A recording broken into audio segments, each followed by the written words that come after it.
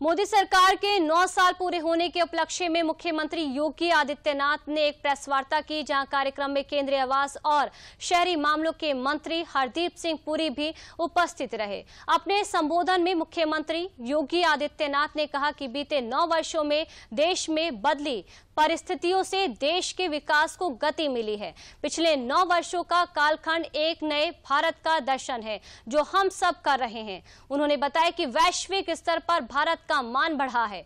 मुख्यमंत्री ने कहा कि भारत की बाहरी और आंतरिक सुरक्षा भी सुदृढ़ हुई है। साथ ही इंफ्रास्ट्रक्चर और कनेक्टिविटी में मोदी सरकार में अभूतपूर्व उपलब्धियाँ हासिल की हैं। माननीय प्रधानमंत्री जी, जब वहाँ गए तो वहाँ के प्रधानमंत्री द्वारा, वहाँ के माननीय प्रधानमंत्री जी ने पैर छू करके उनका अभिनंदन किया। प्रोटोकॉल तोड़ करके देर सायकाल स्वयं अगवानी के लिए आए। यह पहली बार हुआ है जब संप्र, किसी संप्रभु राष्ट्र द्वारा, वहाँ के किसी राष्ट्र प्रमुख द्वारा, दूसरे अपने समकक्ष राष्ट्र प्रमुख का अभिनंदन इस रूप में किया जा रहा हो।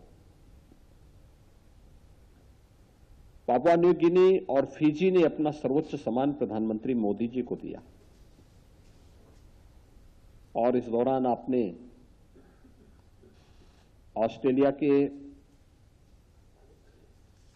प्रधानमंत्री जी के वक्तव्य को भी सुना होगा, जो उन्होंने प्रधानमंत्री मोदी जी के प्रति व्यक्त किए और अमेरिका के राष्ट्रपति जी के द्वारा जो शब्द व्यक्त किए गए कि मोदी जी, हमारी इच्छा होती है आपका ऑटोग्राफ लेने का। यानी यह वैश्विक स्तर पर, न केवल प्रधानमंत्री मोदी जी का, बल्कि भारत की 140 करोड़ आबादी का सम्मान बढ़ा है। हर भारतवासी इस पर गौरव की अनुभूति करता है।